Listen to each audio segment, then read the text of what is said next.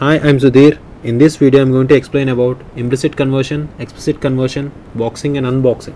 Here I'm going to create a variable i of int type in which I'm saving 12.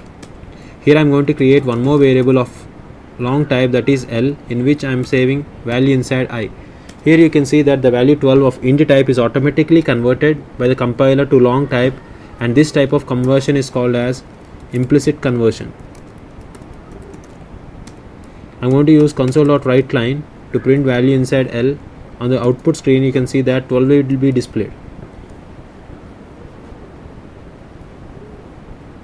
So this type of conversion is known as implicit conversion. Now I'm going to comment these lines of code.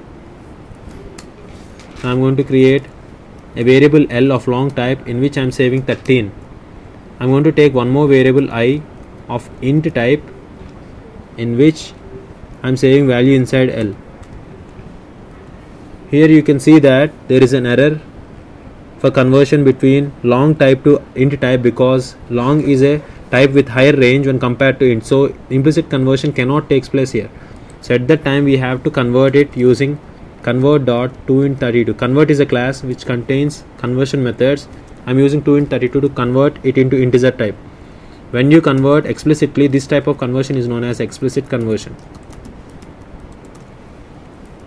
So now I'm going to print value inside i using console.write line. The output will be 13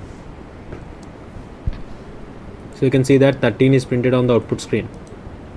So this is about implicit and explicit conversion and these types of conversions are done between value types.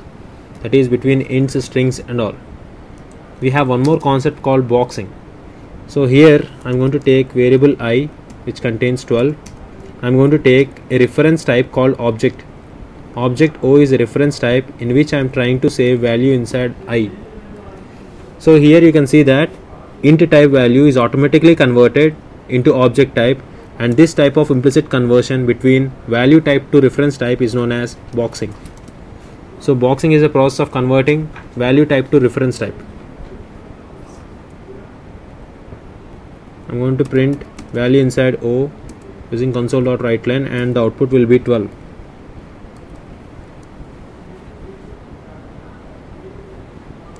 So this type of conversion is called boxing.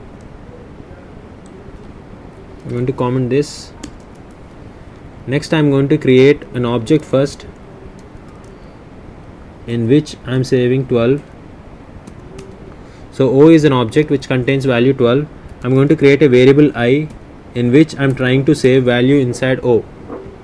Now again there is an error that it says that we cannot convert value of object type to int. Here conversion doesn't takes place. So what we have to do is we have to explicitly convert using convert.toInt32 as we have done before.